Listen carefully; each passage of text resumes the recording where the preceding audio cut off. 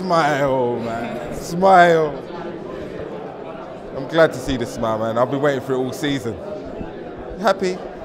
I'm satisfied. I'm satisfied. Um, uh, definitely had to work for that, so that made it a lot more worth it. Um, thanks. Um, it was a battle. Everybody came to win. Everybody came to win a medal. So you know, I had to stay in my zone. There was a lot going on. They were cheering for the Germans, so I just had to use that to propel me forward.